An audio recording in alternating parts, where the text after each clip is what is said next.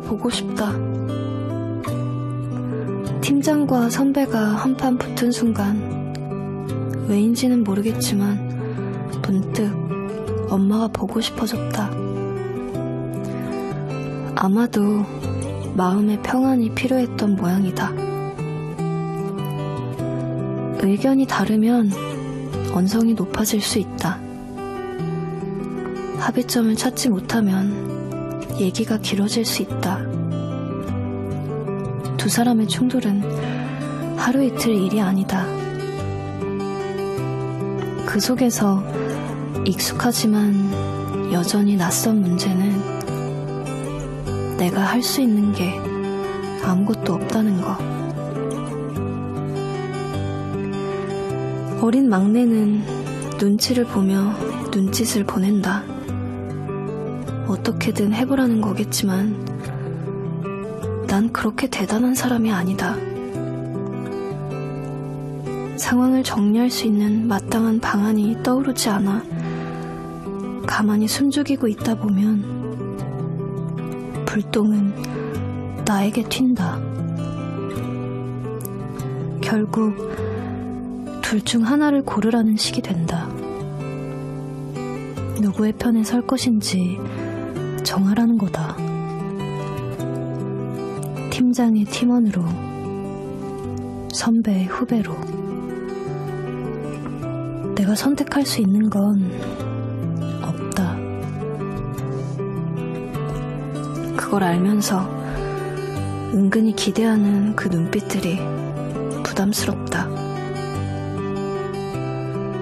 막내를 벗어났더니 위에서 아래에서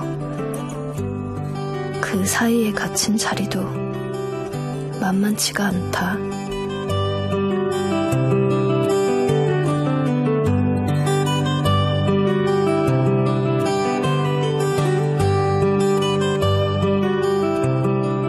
끝나지 않은 성장통 속에 있던 그때의 나는 그래도 언젠가는 이 괴로운 만큼 잘할 수 있길, 이 부족한 만큼 채울 수 있길 소망했다.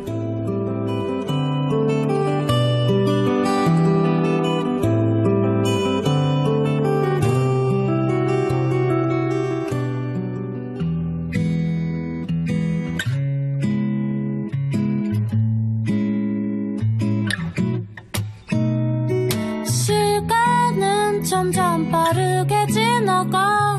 원치 않는 청춘이 와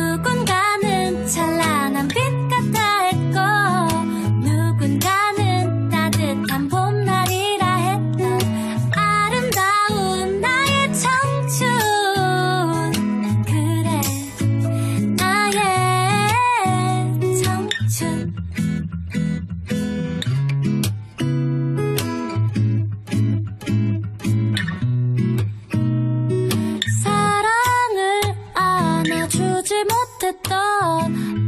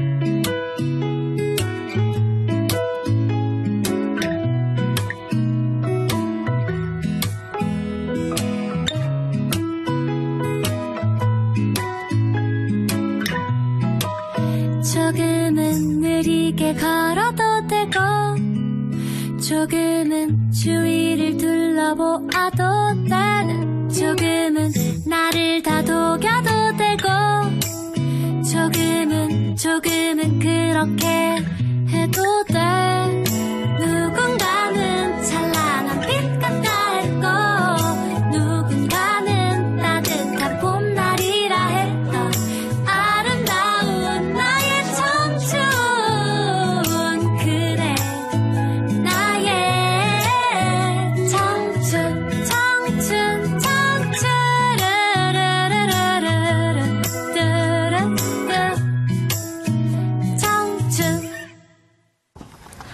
그때 나에 이어서 들려드린 노래 소각소각의 우린 아마도 청춘이었습니다.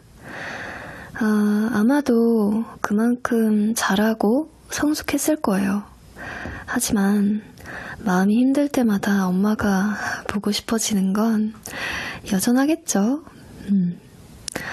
노인이 돼서도 아마 엄마가 보고 싶은 건 똑같지 않을까. 막내만 벗어나면 행복하겠다 라고 생각을 했는데 올라갈수록 또 여러 일을 겪어낼수록 괴로운 일은 늘어나요.